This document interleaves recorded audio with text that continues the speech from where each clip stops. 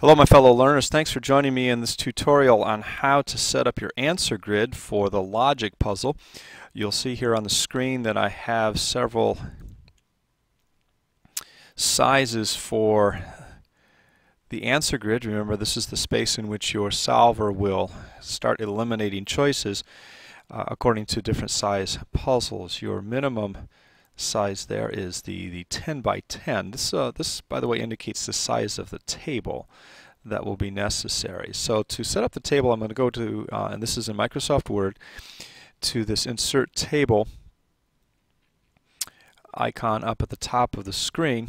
If you don't have this, it might also be available here in the regular menu bar where it says Tables. So let's go ahead and select that. And I want to draw a table and now I have the uh, insert table indicator here. And I want it to be 10 by 10. So let's set that up. Now it's going to fill the screen right away, so don't worry about that. We, we will resize that in a moment. Let's go ahead and take the last four columns of the top row there. We're going to go ahead and right click and merge. Now go ahead and pause at any time you need if you're following along on your own document, but I'm doing that similarly to the next four as I count off from the right. It's giving me a place for a header to indicate what field this is going to be. This is going to be field 2 and I'm going to go ahead and, and center that. This is going to be field 3 as you'll see in just uh, just a moment. Okay, likewise I'm going to do the same thing for a header. Right click merge. The next four, right click merge. And this is going to be for the first and second field. Now I'm going to want to change the direction. So once, once again I'm going to right click. I'm going to change my text direction. Uh, I'm going to go ahead and center that. I just like things nice and even there.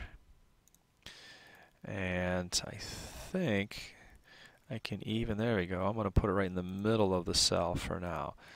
So let's go ahead and, and uh, I think I can do that in one step. Oh, nope, need to change the direction too, don't we? Again, these are right-click operations. Okay, now I'm ready to enter in my entities here. So again, let's use our pizza puzzle scenario.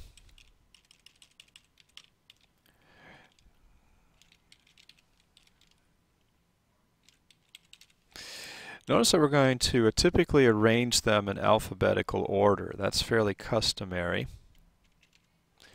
Let's go ahead with pizza toppings. Green pepper. I may want to shrink that here. Um, working backwards in alphabetical order. Yep, that's right, pepperoni. And let's go ahead with mushroom. So I might, just for the sake of size here, I may size those down a bit. And I can always left click and drag the size there. There we go. I'm going to want to repeat those over here in um, field 2. Notice how these two will echo each other.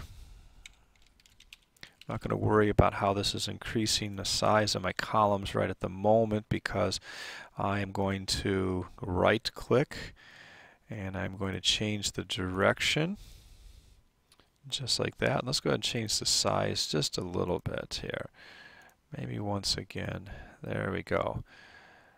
And uh, I think I'm going to align them here right in the middle of the column. That was a right click cell alignment and I chose this middle box here or maybe that bottom one. Bring them down to the, the bottom margin. Okay, so now I'm ready to erase some lines here. I don't need these four quadrants. I needed to complete this the table, which is square, but I'm going to highlight them. I am going to right click and we're going to go to borders and shading. Now at this point, I get uh, um, the borders tab up and I want to eliminate the borders on all but this bottom and right side. So I'm going to leave this line and if I take it off I can always add it back but I'm going to get rid of the middle and the top there and then this left vertical and middle vertical and there you go you see those have now been erased. Similarly I want to do that for this 4 by 4 1 2 3 4 1 2 3 4 grid over here. That's the right click, borders and shading. This time, however, I want to keep the top and the left right here and here. So let's get rid of those lines. Okay, and that's going to ghost those out and they won't appear on your um, on your final answer answer uh, answer grid. Let's go ahead and fill out field three here with our headings. I think we have, uh, oh, I don't know if I can do this in alphabetical order off the top of my head. We've got thin crust. We had our party pizza. That's the really big tray pizza. We had uh, hand tossed. And we have our pan pizza or deep dish, however you want to call that. Let's go ahead and highlight, right click, text direction. Let's get that vertical there. I want to right click. Let's go ahead to cell alignment and put it in the middle of a column. Let's go ahead and shrink these columns a little bit. So I'm going to uh, hold the left mouse button down and drag over all of them. I'm going to right click and let's go ahead to table properties.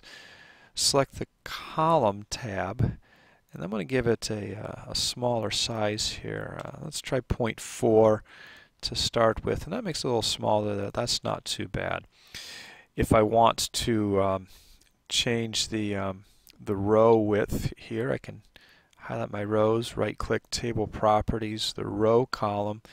Evidently things aren't quite square. Let's try 0.2. That's a little better.